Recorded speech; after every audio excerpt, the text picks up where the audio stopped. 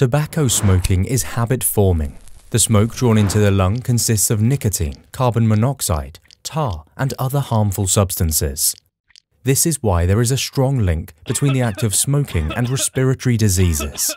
Nicotine is a stimulant found commonly in tobacco and is responsible for causing most of the chemical changes in the body. Short-term effects of tobacco smoking include an increased heart rate and blood pressure. Tar in the smoke affects the mucous membranes of respiratory systems. This is why smokers cough, because they try to clear their respiratory tract. Carbon monoxide damages the lining of blood vessels while increasing fatty deposits in the walls.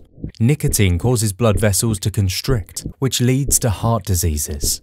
In small amounts, it stimulates the adrenal glands to be active. Smokers may feel nervous and tense for no reason.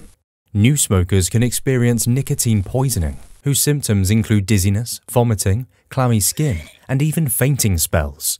The long-term use of tobacco smoking can cause breathing problems like bronchitis, asthma, emphysema, heart disease, and lung cancer.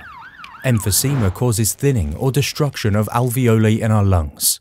Tar stains teeth and fingers and can deposit in the lungs, leading to growth of cancerous cells. Other chemical irritants in the smoke cause narrowing of air passages.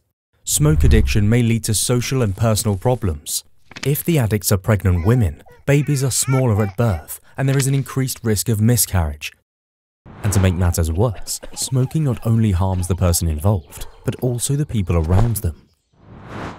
Some people smoke out of habit, for some, it is an addiction. Others may do it due to peer pressure or to look cool. Many people say that smoking helps them relax and prevent stress and anxiety, but the only thing that smoking prevents is a long and healthy life. Smoking mainly benefits the tobacco companies when you give them your hard-earned money.